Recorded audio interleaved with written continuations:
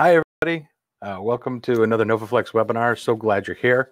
Uh, thanks for introducing yourselves in the chat.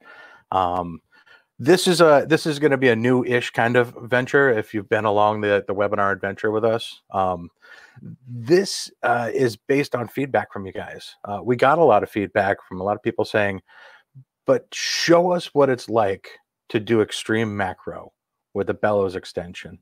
Uh, we've talked about how to put the pieces together. We've shown what you can do with it, but we're missing this one element. And we wanted to do it in such a way that you feel you're like you're there with the experience.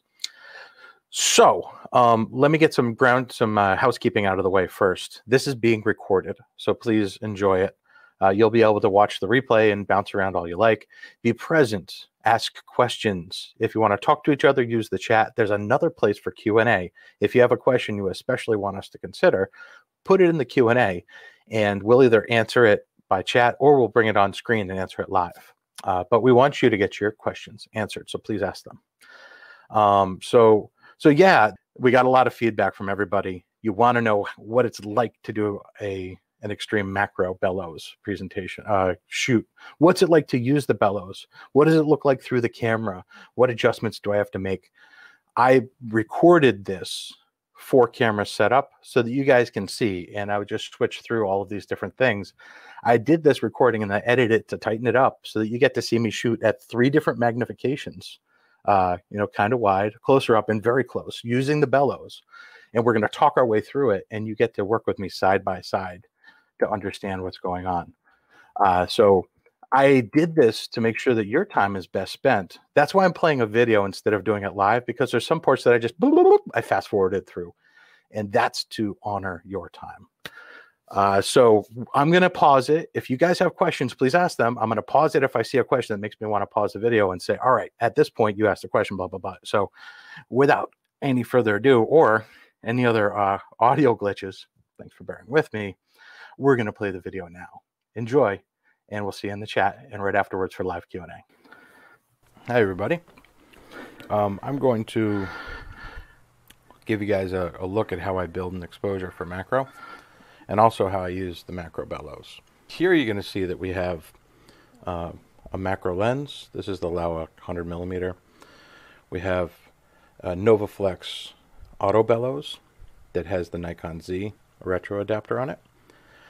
Below the bellows, we have the Castel 2 uh, focusing rail. Um, and that is my, my macro kit today. Uh, below that, we have a Classic Ball 3, and I have my Triopod Pro 75 uh, outfitted with the short legs so I can work on the tabletop. So having a good base is a great place to start and then you build up from there. The other things you might see is like I have an external recorder here, uh, an external monitor that's also a recorder, and that's plugged into a larger display over here. Uh, and it's a 27 inch display. So I can either use this 7 inch display or this 27 inch display to do critical focusing adjustments. So that's how I help myself and my old eyes focus. All right, so now we're set up I have my lens focused at infinity.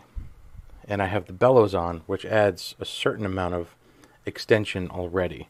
So what I've done is I've composed, and I have my camera tethered to my computer, so you can see Lightroom happening over here. Um, so you're going to see these images show up live uh, as I record this. And the other view that you see is that we have uh, through the, the recorder, the external monitor. So you can see what it looks like through the camera live in real time. So that's what we have over here on the recorder. Uh, and then we have an overhead view over here that shows the setup that I have. And I spent a little bit of time crafting this. And I'm going to show you how I built it uh, one light at a time. Because I think that that's also important. Uh, but we're also definitely going to talk about what it takes to set this up. So strategically, you could see that I have set this up so that the coin and the camera are almost level with each other. Um, I'm shooting a slight angle down. Uh, I wanted to have that cast shadow forward. I have a, a, spotlight over there, and it is casting that shadow forward. And that was, to me, uh, a stylistic choice from the start. So I chose to shoot slightly from above uh, so that I could accentuate that shadow and have it come all the way into the corner there. Uh, so I'm tilted slightly downwards. That also means there's less to worry about with the focusing rail. Um, it just moves a little bit at a time. I don't need to worry about locking it down.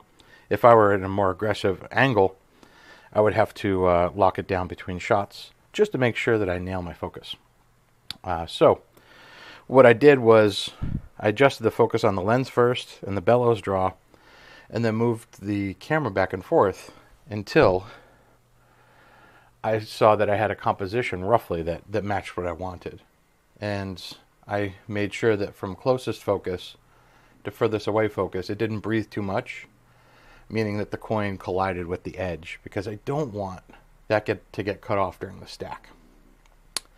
So I have only one light on right now, but I decided to add as many lights as I needed to tell the story. So I'm going to teach you how I, I believe I, I wanted to build this. So the first light that I added was uh, this one up above. I have a, uh, a PavoTube 26C, which is just an LED tube light that's 10 inches long. And I put it on an arm and I put it out in front and above, sort of Rembrandt lighting for uh, the coin. Now you'll see what happens. You'll see what happens with this is the coin goes from having no definition to having a lot of definition. And this has a, a grid on it also, uh, so that it constrains the light and tries to keep it forward. I didn't obliterate the shadow that's in front of it, and that was on purpose. In fact, I'll probably back this off just a little bit so I see the shadow definition more. So what this is doing is it's adding some beautiful highlights on the top edges of everything that's in relief on the coin. Uh, the next thing I wanted to do was to add some color to the edge. So I set up the Light 5C, which is just a little pocket LED off to the side. And I played with it like this. So I moved it, I tried behind, which creates this interesting gradient, right? But it does nothing really for the front of the coin, only the edge. And I just bring it forward until it creates a little fire on the side edges. And you see how that happens there? I'm going to focus again a little bit. See how that happens? right on the edge, and if I pull it away, there's nothing. But on the sides, it creates this little rim of fire. And if I'm only forward, I only get that. But if I put it slightly back, I'm going to cheat. And I'm now filling in the shadow with a little bit of red. And if I move it further and back, you'll see that the, the highlight along the edge increases or decreases. So I'm just going to pick a perfect spot where it doesn't blow out. Okay, so I got that. And it's starting to look pretty good. It's starting to look like something that'll have a lot of detail when I go in focus stack. But I wanted another color. I wanted to throw a little blue against that orange. So I set up another light all the way back here. And I found that I, I started it with it right over the camera. And I'm like, no, I'm going to go off the opposite edge. So now I really have three edges that I'm lighting, three highlight edges separately. And now it's really starting to pop.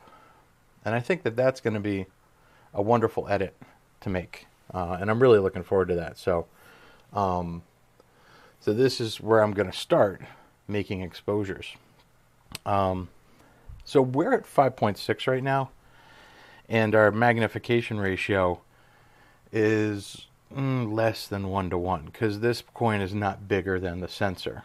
The sensor is 35 millimeters, so I don't have to worry a lot about um, about losing light or too much about depth of field, but I still need to crank it down a little bit. Um, so we're gonna we're gonna work on that right now. We're just gonna stop down a little bit and adjust the exposure. So I'm gonna go to f8 because I know that that's a reliable uh, uh, depth of field right now, and I'm just gonna drop my shutter speed until I see. And this is the fun part until I'm going to bring up my histogram until I see a histogram that doesn't collide with the left or the right side. Now all of these qualify, right? I just don't want to lose highlights or crush shadows. I think that's too much. So I'm going to leave it right in the middle, and I think that that's totally editable. Um, and I think we're in a good place. And the next thing I'm going to do is just turn off the histogram because I'm not going to change the exposure. And I'm going to look at the red dots that you see there. Uh, that's called the focus peaking. So we'll look at that and we see the focus peaking happening. Um, I'm going to find my nearest focus and my furthest focus. So my nearest focus is somewhere around here. Let's see.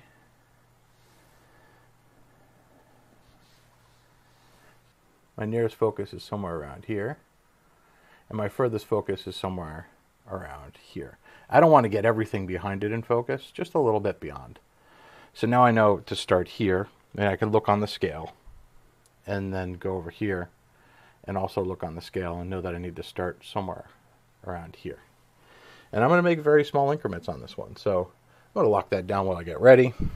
Um, and now we're basically ready to take these pictures. And I'm going to blah, blah, blah, blah, fast forward through this. So I'm going to get, because it's important, I'm going to get the one thing you don't see in the scene yet, which is my intervalometer.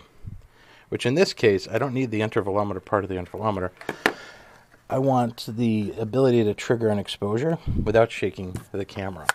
So I'm just going to put this on, mount it, turn on both parts of the unit, and I have this taped down because I do a lot of night photography, but when that's blinking, it's ready to go. So I'm just going to turn it off. And every time I press this big button, it's going to take one picture. Take this, it's going to make one picture over there. So that's where we're at. And now we're ready to start. All right, here we go. And now I'm going to unlock this. And I'm just going to move a little bit closer each time. And I'm going to let it sit and then take the picture so we don't have any shaking.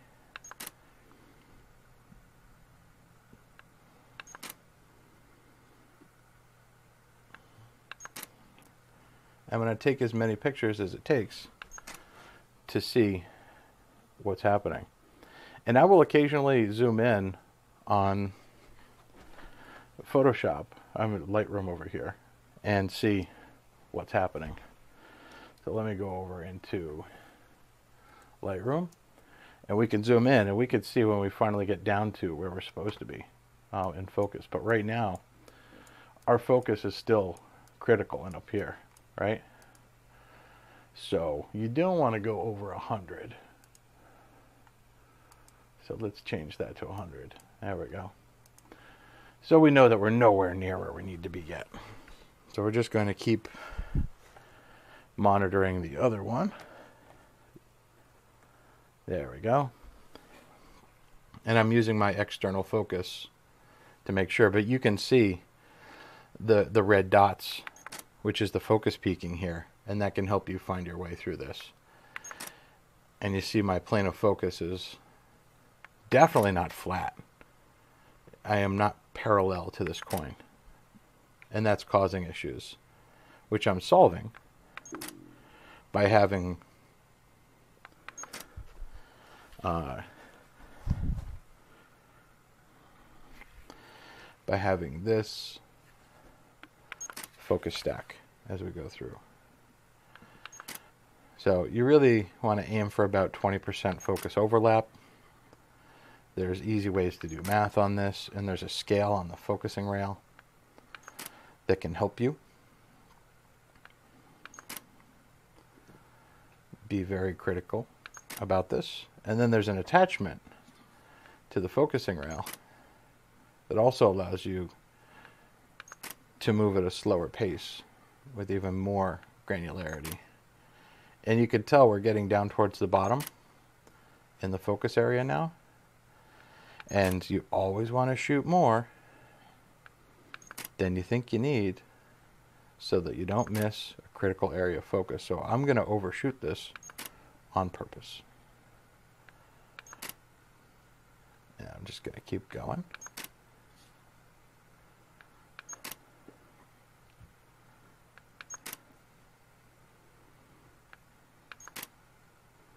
the next thing that I would do would be to go into Lightroom and process these. And let's take a look at what that's like now. All right.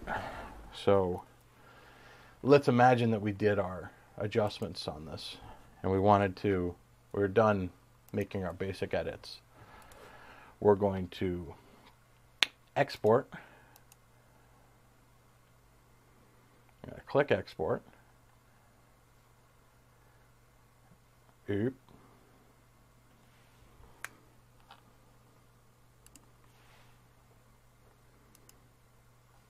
And we're going to choose Helicon Focus. And once you do that, you don't need to change anything else. And you click export. And then you wait for Helicon Focus to do its thing. So there's 43 pictures in this. We're going to fast forward through this. Now I should play some music or something right now, but I'm not going to. uh, this is this is the part where you export from Lightroom to Helicon Focus. And here we go. Focus over here. Now you see that there's all of these layers in here. So we're going to pick the first rendering method, right? And we're going to reset. Now reset this so it's always the same. And hit render. And we'll see what the different rendering methods do.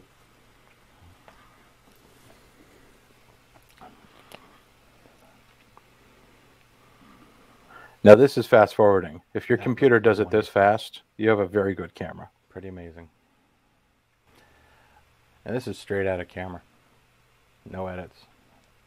Gorgeous, right? And we look through it and we see that we've got, we nailed it all the way. Oh, might have missed a little bit right there. But it's looking pretty great. Wow. On fire. So I always try all three methods just to see which one will work better. And I'm going to do that for you guys and fast forward through this again. And now we can flip between those and see if there's a, a substantive difference that we do or do not like. So some of them might have different experiences with high contrast edges. And that's usually what I see the difference between these, is how they handle highlights. Uh, and we'll see how this goes. And since I like them all, I'm going to save them all off. And we're going to just put it right back where they came from. And it's going to prompt us to close Helicon when we're done. And I'm just going to save the other two that I did.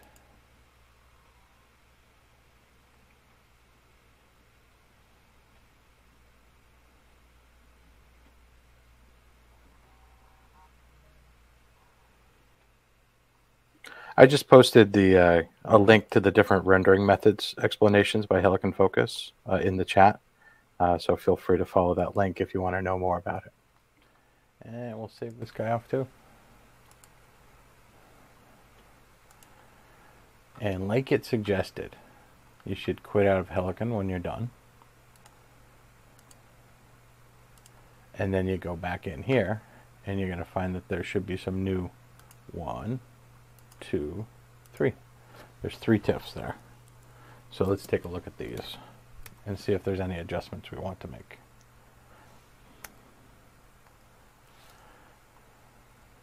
So there's the C version, there's the B version, there's the A version.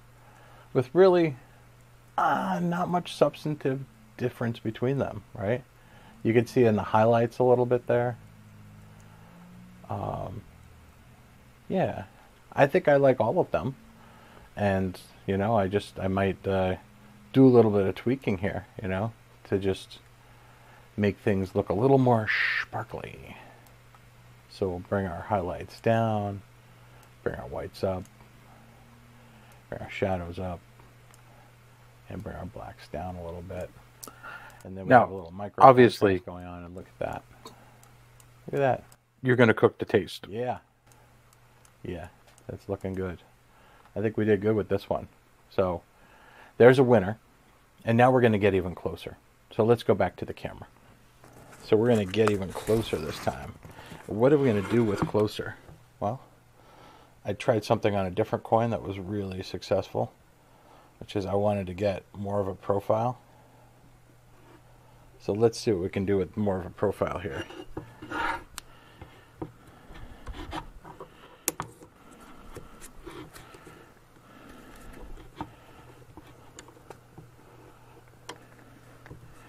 So now we have to adjust our lighting strategy, of course. Look at that. That's pretty. And we'll take this guy and make him opposites day. Right? But somehow we got to get him in front of what's going on. So we'll do that by blending.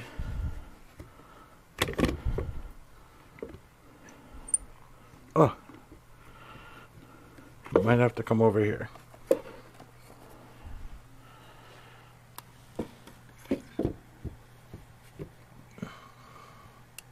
But it's nice to have something that's bigger than, right? So now we're going to increase our our uh, our magnification by going to one to one on this lens and then we're going to move the whole thing forward until we achieve some sort of focus. All right. Now I've got my focus track backed up halfway just in case. Uh, we may have to move that light and that's okay. And notice that our exposure is changing. All right. So let's see what we got here. Gonna rotate. Cool. Set her down. Let's see what we can do. You got a really crazy beautiful focus stack here. I really want the sun. I'd like to get that sun in there. But every time I get too close, I'm going to need to move this up a little bit. So we need to find something to place this on that raises it up a little bit. So I'm going to use my card reader. And there we go. If that doesn't work, I have a second card reader. But I think we got it. And we're just going to keep keep on keeping on until we find that focus. Oh, look at that. Now we've got something. We're cooking. So we have to figure out our lighting next. What's going to help us achieve proper? What I don't want to do is blow it out.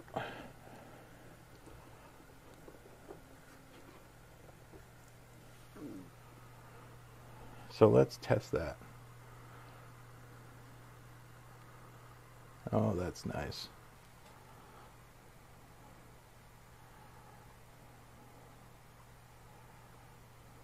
Okay. So one other thing that you can do is back it off and turn it up. Right? So we can do that. Or we can test to see how this works.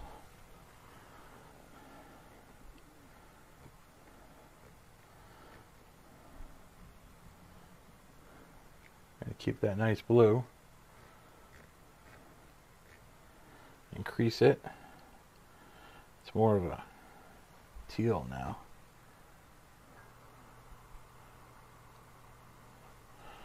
All right.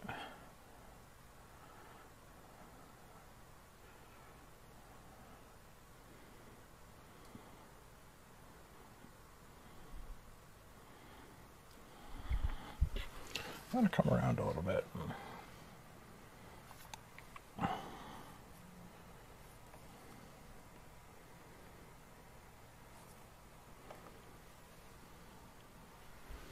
All right, I think we got it. Let's make sure we got a good exposure before we commit to this. There we go. Okay.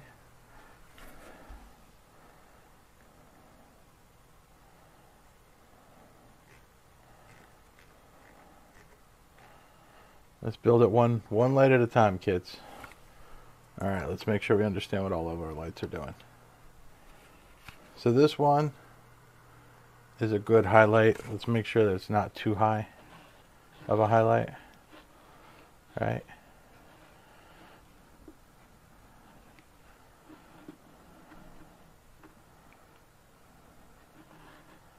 Back that off. Make that just a high highlight. Cool. How does that look up here? Great.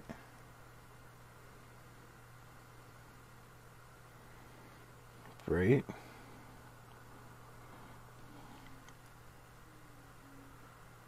Cool. So let's do this. Let's bring in our highlight. Take off the blue. And make sure that we understand what this guy's doing.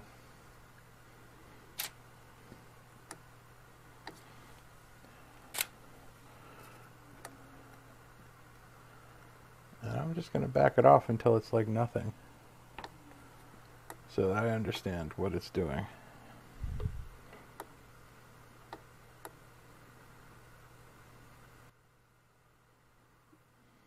I hope you guys appreciate that I'm, I'm talking my way through the lighting here, which is always a fun part of this too. This is part technical and part art. Um, and I obviously enjoy the lighting part of it, and I'm glad to share it with you. And if you want to know what it's doing, just switch modes.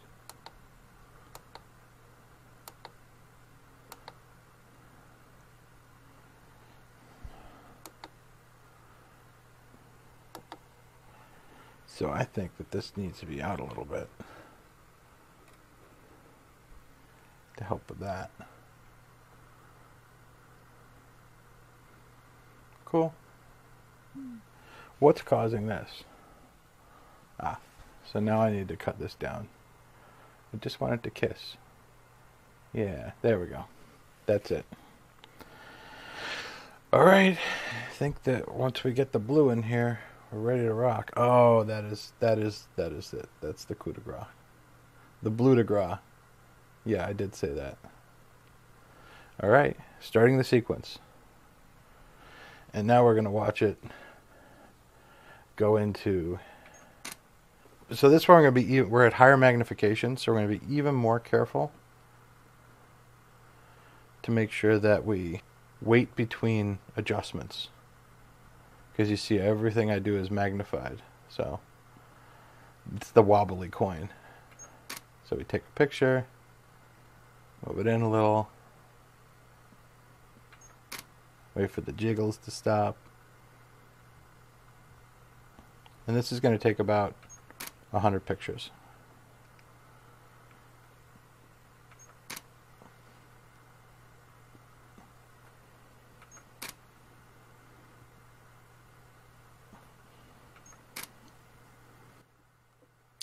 This is fast forwarding. This takes a while. You just be careful, like we showed you on the last one, when you're stacking, to make a small adjustment, wait for it to stop vibrating, and then take the picture, hopefully with something that doesn't add vibration to your camera. This time and do a little bit of light editing before. Um, landscape, portrait, vivid. I think vivid's too crunchy, so I'm gonna go landscape. And I'm gonna pull little dehaze, right? They'll like dehaze. Bring those highlights down, whites up. Actually, I'm going to go the other way. I'm going to go highlights up, whites down. Yeah, that's better. And then I'm going to bring my shadows up. And I'll bring my blacks down. Oh, there's nothing to do in the blacks then. Okay. And then I'm going to Again, this, this is cooking to taste. So. Uh huh. Uh huh. Sync settings. Choose all. And go back to this guy. And sync it backwards too.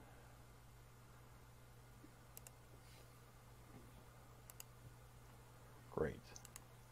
So now we have all these guys. And we need to click export, and we go Helicon. and then we go export. And now it's going to take a long time to export these 75 photos. So I said it was going to be about 90, um, but it ended up being 75. And we'll wait for this to finish. So this is using the TIFF method. You can also use the DNG method, uh, which takes even longer. However, you keep a, a raw image at the end of it, now which is something I experimented with after that. We've already done this. Um, we're going to render all this.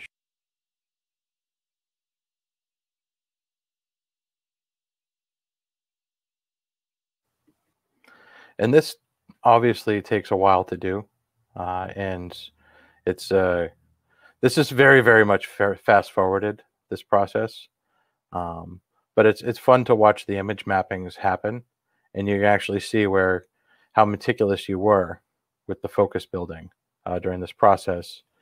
And you can go in there and also go into the retouching and pick another layer that doesn't have some of the artifacts that might get picked up by the rendering process and clean them off the edges before sending it back in uh, over to Lightroom. And this is what I'm doing right now is I'm saving out all of those TIFFs to go back into Lightroom and we're going to round trip it back into Lightroom.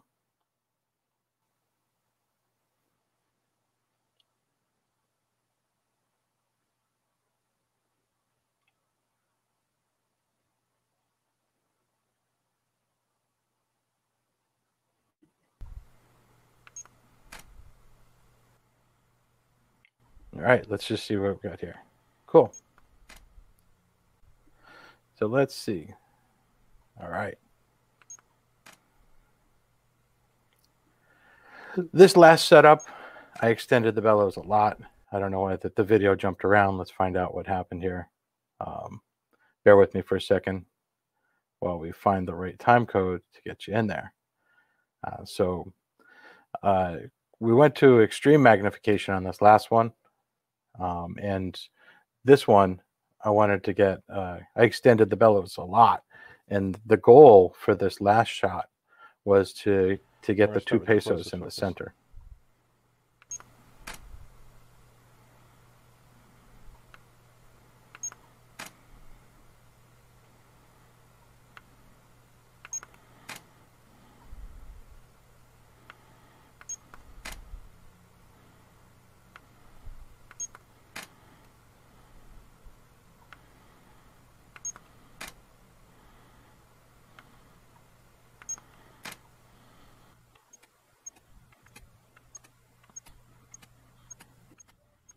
And yes, we're in fast forward mode right now. I did not work this fast. Uh, so everything had a moment to still out.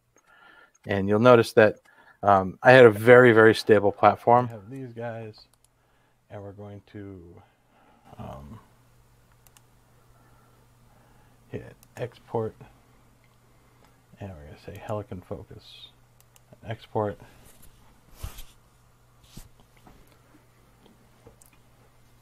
And now we're going to go through the, the processing once again for this. And you're going to you're going to see much of the same thing that we saw before. So I'm going to jump through it again. Uh, and nothing's a surprise here, except there's a lot more pictures.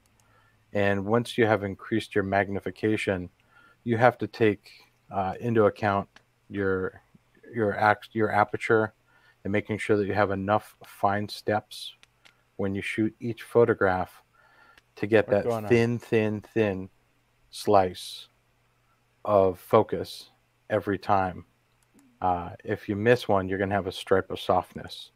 So uh, that was my goal doing that. And I think it was a, a real blast uh, doing this process and working through this for you guys. Um, so, I mean, this this this is really the end of this process. Um, the, the end of the the part i'm sorry the end of the part that i, I recorded for you guys uh, and i hope that you enjoyed uh, watching this part. So i'm back. I hope that that uh, helped you guys. I saw that there was a pretty active q&a going on. Um, and the first one that we have uh, is from roberto. Um, how is the the focus breading interact with the final image. Roberto, I, I, I, would um, can you help me understand a little bit more? Uh, the word breading is confusing me a little bit. Uh, do you mean breathing? Um, I'd, I'd, like to I'd like to know, and I'd like to help you out with that. Um, so, so that's that one. Um, so, all right. Uh, let's hear your questions, and while we're doing that, I'm going to uh, just let you guys know that if you have specific gear questions, you're definitely welcome to ask them now. This is kind of more about technique, but we can answer gear questions. But we're going to have um, we're going to have uh, another webinar coming up on Thursday, April 15th with Martin, focusing on building your ideal macro bellows configuration.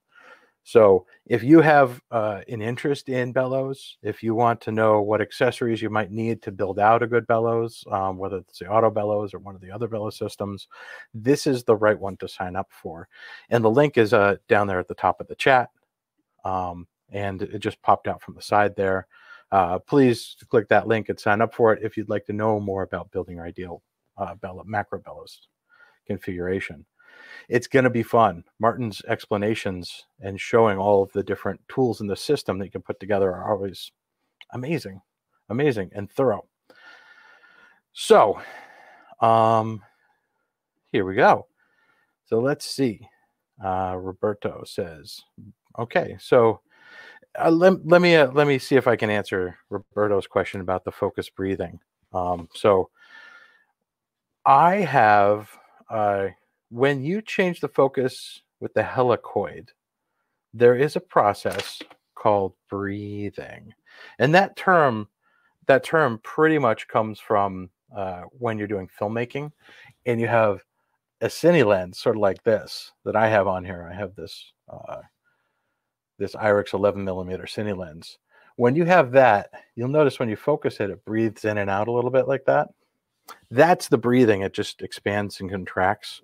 Uh, and you can see that in macro too.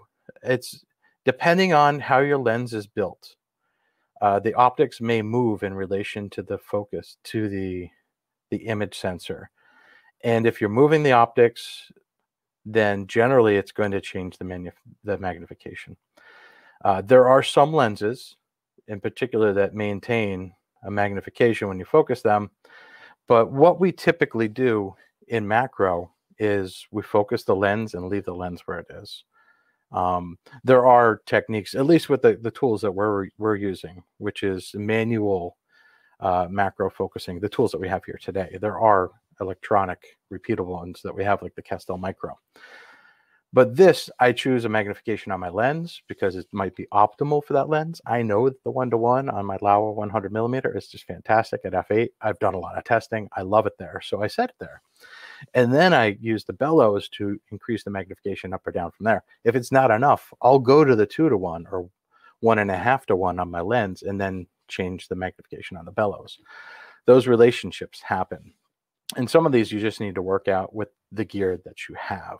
So the breathing is a reason that you wouldn't want to use helicoid focusing, turning the lens barrel, because it, it might change your magnification uh, while you're doing it. So if you see that breathing, it may affect the quality of your focus stacking and helicon focus.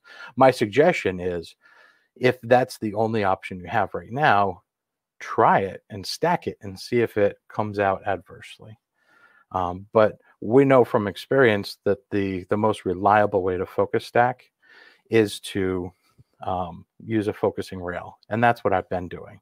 Uh, in fact, I have um, I have my focus rail on right now, uh, and I could show you guys that. That's uh, I'll just unplug the HDMI from here. I have my Castel Q on here. Castel Q. Oh, you guys can barely see that. There we go. So I have the Castel Q, and I put the Castel Fine on it so that I can uh, very, very finely adjust that. So that's that's what I'm saying is it's best for you as a macro shooter to I'm going to say in air quotes to focus stack by moving your camera and not changing the focus on your lens and not changing the bellows. You establish the magnification and the focus like that ahead of time and I'm saying focus on the lens barrel and then you change the relationship of your camera to that uh, object that you're shooting by moving this lens barrel back and forth like that. So this is what we do in macro. All right. Going back and looking at the the chat and stuff. Uh-huh. Let's see what we have. Matt Bourgeois, good to see you, buddy. Uh, okay, Dennis asked me what the fiber optic light setup that you saw. Um, it's something I've been I've been playing with. Uh, it's it's not necessarily my my favorite thing. Uh, as personally, it's called Adaptalux. Um, they're a, a, small company out of Britain, and they just have arms that you can put in.